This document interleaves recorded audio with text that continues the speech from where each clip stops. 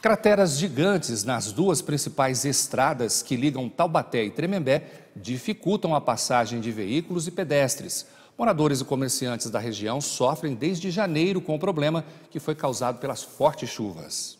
O Mário mora próximo a essa avenida, Luiz Gonzaga das Neves. Ele sempre utiliza a via para atividades cotidianas, mas desde o dia 8 de março está difícil passar por aqui, porque parte do barranco que sustenta a ponte, que fica bem no limite entre as cidades de Tremembé e Taubaté, cedeu e com isso o trânsito está parcialmente interditado. Em particular tem afetado bastante, porque eu levo minha esposa e busco, eu dou um trabalho na Independência.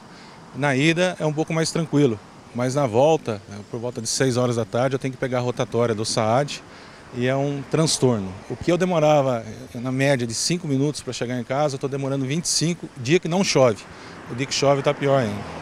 E um agravante agora, é, o pessoal está vindo no contrafluxo e a prefeitura não tomou nenhuma ação de pôr um marronzinho aqui para evitar isso aí. Além de dificultar o acesso, esse problemão tem prejudicado os comerciantes por aqui, como no caso do Vicente.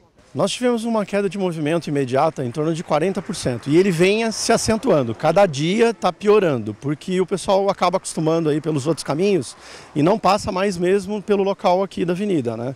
Então cada vez está aumentando mais essa queda de movimento. A Prefeitura de Taubaté informou que a proteção da cabeceira da ponte ficou danificada depois das fortes chuvas que caíram na região nesses primeiros meses do ano, mas que não há riscos de queda da estrutura.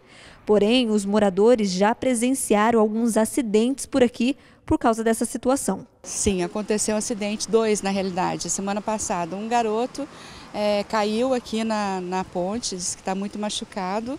E também os carros, que é, eles colocaram uma mão só, né? E eles não obedecem, né? Então vem sempre um na contramão e justamente esse na contramão colidiu com com. Graças a Deus não, teve, não foi uma vítima fatal, mas disse que se machucou bem uma senhora, né? E ó, constantemente está tendo, tá tendo também é, carros que não estão obedecendo, vem contramão, e o perigo também de acontecer acidentes maiores. No dia 29 de março, os moradores e comerciantes fizeram uma manifestação no local e no dia 3 de abril, a Prefeitura de Taubaté deu início às obras de restauração da ala de cabeceira da ponte. Nós procuramos a Prefeitura de Taubaté, mas eles disseram que por enquanto não vão gravar entrevistas sobre esse assunto. Em nota, eles afirmam que a Prefeitura de Tremembé não tem recursos para manutenção da ponte e a administração de Taubaté resolveu executar a obra por causa dos prejuízos que os munícipes e comerciantes aqui da região estão submetidos. Outro local que está perigoso para quem passa é a rua Souza Ribeiro. Aqui, uma cratera foi aberta no começo do ano, depois do rompimento da galeria de águas pluviais. E por causa disso, o trânsito também ficou prejudicado. Nós procuramos a Prefeitura de Tremembé para falar sobre o assunto e, em nota, eles informaram que um projeto foi construído e assinado no dia 5 de março.